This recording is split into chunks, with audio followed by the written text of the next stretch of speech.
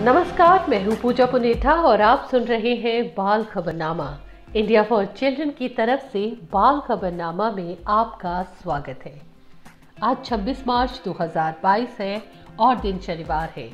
आइए पहले नज़र डालते हैं हेडलाइंस पर। चाइल्ड पोर्नोग्राफी देखने पर अब पुलिस करेगी गिरफ़्तार।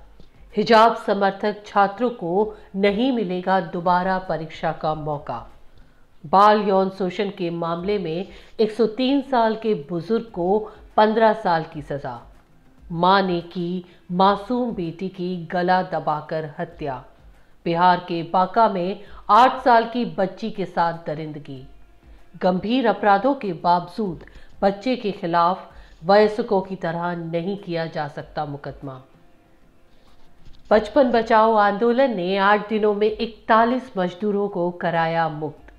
कुशीनगर में चार बच्चों की जहरीली टॉफी खाने से मौत। त्रिपुरा में बलात्कार के आरोपी की पिटाई से हत्या। केरल हाईकोर्ट ने प्रोडक्शन हाउस को शिकायत समिति बनाने का दिया आदेश। बाल बंधुआ मजदूर के साथ अप्राकृतिक यौनाचार। अब खबरें विस्तार से। शुरुआत करते हैं कुछ राष्ट्रीय और क्षेत्रीय खबरों से। पिछले दो साल में इंटरनेट का प्रयोग सबसे ज़्यादा बढ़ा है। इंटरनेट पर बच्चों से संबंधित अश्लील वीडियो, फ़िल्मों और कंटेंट की मांग सबसे ज़्यादा हो रही है। बच्चों के खिलाफ अपराध बढ़ने की मुख्य वजह यह भी है। लेकिन अब ऐसा नहीं होगा। और अगर आप इंटरनेट पर पॉन वीडियो, फ़ोटो, अश्लील कंटेंट देखते या अपलोड करते हुए पकड़े जाते हैं तो राजस्थान पुलिस इसके खिलाफ एक्शन लेगी। पुलिस खास सॉफ्टवेयर की मदद से इसकी निगरानी कर रही है। पकड़े जाने पर पहले तो आपको समझाया जाएगा, लेकिन यदि फिर भी आप नहीं मानते हैं तो गिरफ्तारी की जाएगी। हिजाब मुद्दा ठंडा होने का नाम नहीं ले रहा है। कर्नाटक में बारहवीं क्लास के सैकड़ों छात्र छात्राओं को अब प्रैक्टिकल एग्ज़ाम में बैठने का दूसरा मौका राज्य सरकार नहीं देगी। उल्लेखनीय है कि इन छात्र छात्राओं ने शिक्षण संस्थानों में हिजाब पहनने की अनुमति नहीं मिलने को लेकर विरोध प्रदर्शन में भाग लिया था और एग्ज़ाम का बहिष्कार किया था। लेकिन वही अब दोबारा प्रैक्टिकल एग्ज़ाम आयोजित करने की मांग कर रहे हैं। तमिलनाडु के तिरुवल्लुवर कोर्ट ने एक ऐतिहासिक फैसला सुनाते हुए 2008 में एक नाबालिग का यौन शोषण करने वाले एक बुज़ुर्ग को 15 साल की सजा सुनाई है। तिरुवल्लुवर की महिला अदालत ने दोषी को पीड़ित महिला को जुर्माने के तौर पर पचास हज़ार रुपये भी देने का आदेश किया है। उधर जालंधर के नूर महल में पॉक्सो की एक विशेष अदालत ने एक साल चार माह की बच्ची से बलात्कार करने के आरोप में बावन साल के एक व्यक्ति को 20 साल की कैद और पाँच लाख रुपए जुर्माने की सजा सुनाई है। पीड़ितों को मिल रहे न्याय से अदालतों के प्रति लोगों का भरोसा जगेगा। दिल्ली के मालवीय नगर थाना के चिराग दिल्ली गाँव में एक बेटे की चाहत ने एक माँ को हैवान बना दिया। माँ ने पहले अपनी दो माह की मासूम बेटी की गला दबाकर हत्या कर दी उसके बाद उसे पास पड़े ओवन में डाल दिया। दिल्ली पुलिस ने बच्ची की माँ डिम्पल और पिता गुलशन कौशिक को हिरासत में ले लिया है। वहीं बिहार के बांका के चांदन थाना इलाके में मात्र आठ साल की मासूम को अगवा करके उसके साथ गैंगरेप किया गया। वहीं उसकी हत्या कर दी गई।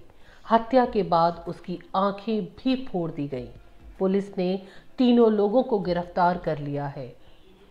मासूमों के साथ जिस तरह से दिन प्रतिदिन हैवानियत बढ़ रही है, वे इंसानियत को शर्मसार करते हुए प्रतीत होती है। पिछले सप्ताह के भीतर बॉम्बे हाईकोर्ट ने अपने दो अहम फैसलों के ज़रिए बाल अधिकारों के दायरे को बढ़ाने का काम किया है। अदालत ने औरंगाबाद से जुड़े एक मामले की सुनवाई करते हुए ये फैसला दिया है कि गंभीर अपराधों के बावजूद बच्चों के खिलाफ वयस्कों की तरह मुकदमा नहीं चलाया जा सकता। अपने दूसरे फैसले में अदालत ने कहा कि एक गोद लिया हुआ बच्चा अपने दत्तक माता पिता की जाति की पहचान का हकदार है। इसी आधार पर अदालत ने गोद लिए हुए बच्चे को गोद लेने वाली माँ की जाति से जुड़ा प्रमाण पत्र जारी करने का निर्देश दिया है। बचपन बचाओ आंदोलन ने दिल्ली पुलिस और सरकारी एजेंसियों के सहयोग से हरियाणा, गुजरात, राजस्थान, तमिलनाडु और आंध्र प्रदेश के विभिन्न उद्योगों से आठ दिनों में 36 बाल मजदूरों को मुक्त कराया है। सभी मुक्त बाल मजदूर कठिन और गंभीर परिस्थितियों में काम कर रहे थे और बिहार, उत्तर प्रदेश और झारखंड के रहने वाले हैं। नियोक्ताओं के खिलाफ एफआईआर दर्ज कर ली गई है। उत्तर प्रदेश के कुशीनगर में चार बच्चों की टॉफी खाने से मौत हो गई। इनमें से तीन बच्चे एक ही परिवार के हैं, जबकि एक बच्चा पड़ोसी के परिवार का है। टॉफी में जहरीला पदार्थ मिले होने की आशंका व्यक्त की गई है। पुलिस ने मामले में हत्या का मुकदमा दर्ज कर जाँच शुरू कर दी है। घटना की राज्य के मुख्यमंत्री ने जाँच करने व परिवार को आर्थिक सहायता देने का आदेश दिया है। त्रिपुरा के धलाई ज़िले में महिलाओं के समूह ने बलात्कार के आरोपी की इतनी पिटाई की कि उसकी मौत हो गई। ये घटना राज्य के गंडाचेरा थाना क्षेत्र की है। उल्लेखनीय है कि 40 साल के आरोपी ने अपनी माँ के साथ एक धार्मिक कार्यक्रम में आई। पाँच साल की बच्ची को पास के जंगल में ले गया और उसके साथ दुष्कर्म किया और बच्ची को मौके पर ही छोड़ दिया। केरल हाईकोर्ट ने कार्यस्थल पर महिलाओं के यौन उत्पीड़न, रोकथाम, निषेध, निवारण अधिनियम 2013 के अनुसार फ़िल्म निर्माण इकाइयों को एक आंतरिक शिकायत समिति बनाने का निर्देश जारी किया है। उल्लेखनीय है कि कोर्ट ने विमेन सिनेमा कलेक्टिव की ओर से दायर जनहित याचिका पर यह आदेश जारी किया है। बिहार के दरभंगा से एक नाबालिग को चूड़ी बनाने के लिए जयपुर ले जाया गया। वहाँ मालिक और उसकी पत्नी बच्चे की बर्बरता पूर्वक पिटाई करते थे। उसे आधा पेट भोजन दिया जाता था। जब बच्चा अपने घर जाने की गुहार लगाता, तब ब्लेड से उसके शरीर को कई जगहों से काट दिया जाता। आरोपी शराब के नशे में उसके साथ अप्राकृतिक यौनाचार भी करता। पुलिस को शिकायत मिलने पर उसने चूड़ी बनाने के औज़ार सहित सारे उपकरण जब्त कर लिए गए हैं। आइए अब रुख करते हैं कुछ अंतर्राष्ट्रीय खबरों की ओर। कट्टरपंथी सबसे पहले महिलाओं के हक हकूक को रौनते हैं। अफ़गानिस्तान की तालिबान सरकार इसके लिए कुख्यात रही है। वर्तमान में जब पूरी दुनिया में आदि आबादी के अधिकारों को सुनिश्चित करने की बयार चल रही है, वहीं तालिबान ने तीन दिन पहले लड़कियों के माध्यमिक स्कूलों को फिर से खोलने के कुछ ही घंटों बाद अचानक बंद करने का आदेश दे दिया। अफ़गानिस्तान के लिए यह कोई नई बात नहीं है। ऐसा वहाँ इसलिए बार बार किया जा रहा है ताकि लड़कियाँ हतोत्साहित होकर घर की चार दीवारी में कैद हो जाए। खबर है कि जब स्कूल का शटर गिराया जा रहा था, तब लड़कियों की आँखें वहाँ नम थीं। एक महीने में जारी रूसी हमले में यूक्रेन में सबसे ज़्यादा बच्चे तबाह हो रहे हैं। मारियूपोल में तीन बच्चों की प्यास से मौत हो गई। यूनिसेफ का दावा है कि अब तक 15 लाख यूक्रेनी बच्चे बेघर हुए हैं और 112 बच्चों की मौत हो चुकी है। यानी हर सेकंड में एक बच्चा रिफ्यूज़ी बनने को मजबूर है। यूनिसेफ का दावा ये भी है कि इन बच्चों की खरीद फरोख्त भी हो सकती है। आइए, आज मैं आपको उस बहादुर लड़की की एक साहसिक कहानी से आपका परिचय कराती हूँ, जिसका वीडियो आजकल खूब वायरल हो रहा है।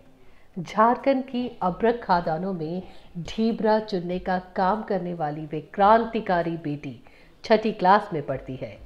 लेकिन शासन प्रशासन को जब ललकारना शुरू करती है, सबके कान खड़े हो जाते हैं। कोरोना महामारी में कामकाज बंद होने के कारण वे धरने पर बैठी हुई है और मजदूरों के बच्चों की पढ़ाई लिखाई की मांग कर रही है। वह सवाल करती है कि क्या प्रधानमंत्री, एसपी और डीएसपी की बेटियों को पढ़ लिख कर अफसर बनने का अधिकार है? हमको अनपढ़ रहकर मजदूर बनने का, बच्चे की ललकार और सवाल स्पष्ट संदेश प्रतीत होते हैं कि देश में दो नियम नहीं चल सकते। रोटी, खेल, पढ़ाई, प्यार, उनका भी उतना ही अधिकार है जितना प्रधानमंत्री, एसपी और डीएसपी की बेटियों का। बच्ची का तेवर हाशिए के लोगों की प्रेरणा का स्रोत है। जिसके बगैर वे अपने अधिकारों को प्राप्त नहीं कर सकते। बच्ची तब तक धरने पर बैठे रहने की बात करती है जब तक कि उसकी मांगों को मान नहीं लिया जाता। बच्ची की ओस से भरी आवाज़ हमें यह आश्वस्त कराती है कि ले मशाले चल पड़े हैं लोग मेरे गाँव के। अब अंधेरा जीत लेंगे लोग मेरे गाँव के। बच्चों की खबरों को जानने के लिए अगले हफ़्ते इसी समय शनिवार को फिर से सुने बाल खबरनामा। तब तक के लिए इंडिया फॉर चिल्ड्रन की तरफ़ से मैं अपनी संपादकीय टीम, कविता सुरभि, पंकज चौधरी, आशुतोष नेमा और रोहित श्रीवास्तव की तरफ़ से आपसे इजाज़त चाहूँ